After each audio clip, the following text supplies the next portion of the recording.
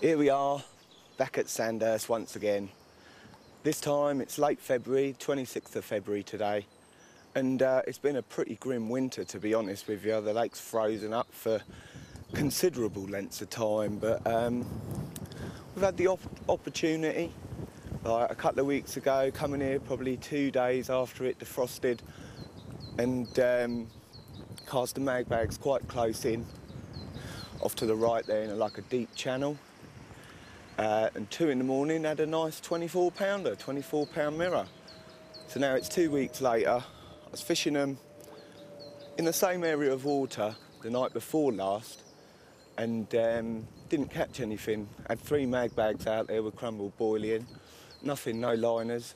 And yesterday, um, a fair few fish were jumping straight out in front of the swim there, probably about 80 yards range in a deep hole that's out there. Um, so I put all three over to bottom bait tutti fruities, wanged them out there, and sure enough, just on light, had a lovely 28 pound common. Just pulled up tight, out the clip, pulled into him, nice scrap across the swim, got him down there in the net. So uh, we'll let you have a look at him in a second. Lovely fish.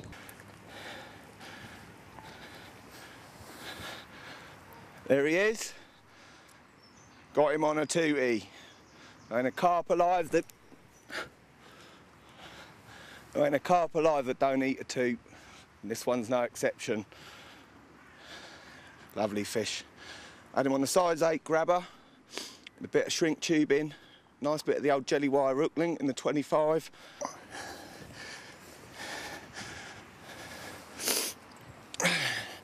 Caught him about 80 yards range this one in a deep uh, silty area out there in amongst the shallow areas. So well chuffed with that one. 26th of February, cold water common. Lovely.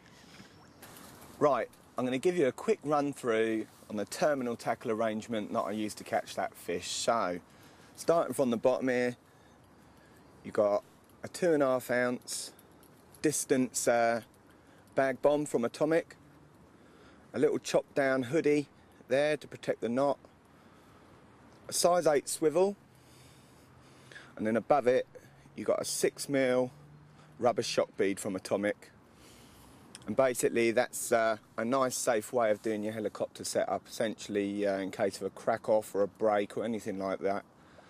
Basically that bead can come up your lead core and over your needle knot. Basically I've attached the lead core to the lead with a free turn grinner knot, nice and simple. And at this end, I use a free turn needle knot. Nice and simple, nice and effective. I'm going to show you the, uh, the hook link arrangement that I use with this, so check it out. Okay, what you're going to need for this is some 25 pound atomic jelly wire. Then you're going to need the rock bottom rig tubing. It's PVC rig tubing that basically fits over your uh, over the bend of the hook to trap the hair.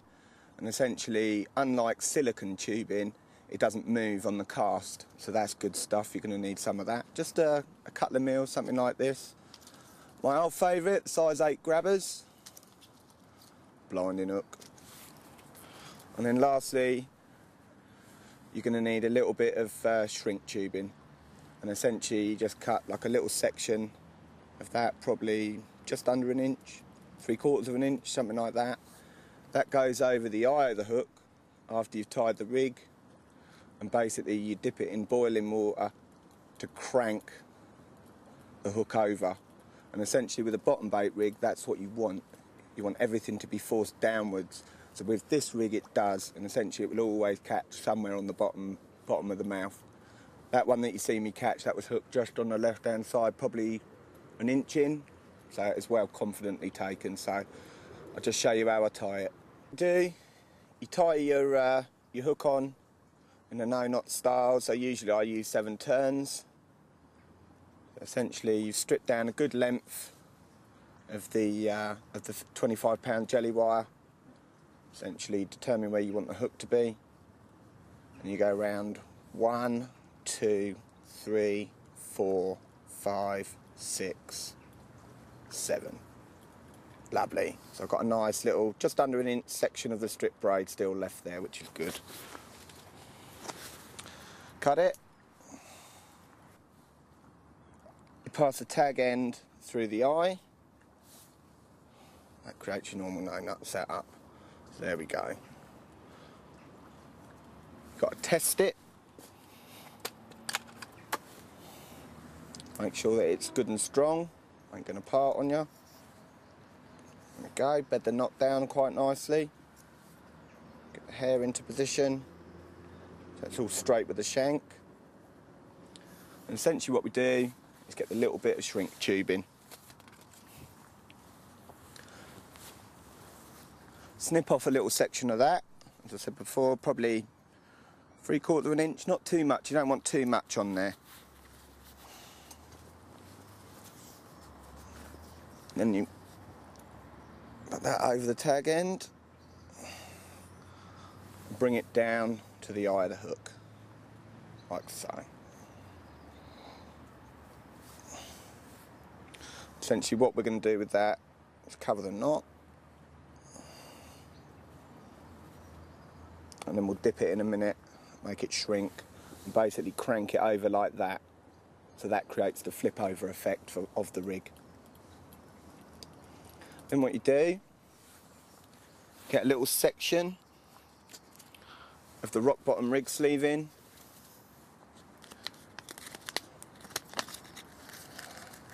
Probably two mil, something like that. Cut yourself off for like a little section of that. And what you've got to do is pass that essentially it won't go over the eye or any of that so you've got to do it in reverse. Pass it over the hair then get the point of the hook and pass that inside the tubing. Like so. Always beware don't nick the point of the hook because you'll end up uh, you'll end up blunting in it sometimes I do wish I had nails and that's what we're after before we actually uh, shrink the tube and crank it over. You can see that the hair's trapped there by the little bit of PVC tubing and the shrink tubing is just about pushed over the eye. Essentially what we're going to do is crank the tubing over like that. There we go. That water's bubbling. What we do, just dip the old shrink tubing in there. That'll shrink down nicely. Well, there it is, the finished article. Got a nice little tutti frutti bottom bait on there. So as you can see, you've got a nice gap between the top of the bait and the bend of the hook. So that allows the play in the fish's mouth. You've got your little bit of uh, tubing holding it on there, and you've got your cranked over bit of tubing with a little bit of the uh, jelly wire stripped down to allow play again in the mouth and also on the bottom and then leave the rest on like that section there. I'd fish that probably about six to eight inches. That common that I just had was probably one about that long, probably about seven, eight inches, something like that. So I'll just show you what it looks like attached to the uh, terminal setup. So there it is, the finished article, nice and safe and nice and simple. And that's what caught me the fish. As I say, I like to keep things nice and simple, especially on waters like this, on Sandhurst. Um, there's no point over complicating the uh, any matters. This is what I use like for a lot of my fishing. As I said, I was using maggots over here, but the fish seem to have moved away, like they've moved further up the lake, like. So essentially, I can't get the old mag bags that far out. So I thought, well, I'll switch back to the old favourite, you know, the single tutti fruities. Sure enough, put three tutti fruities out across the area, and had one this morning, so well happy with that.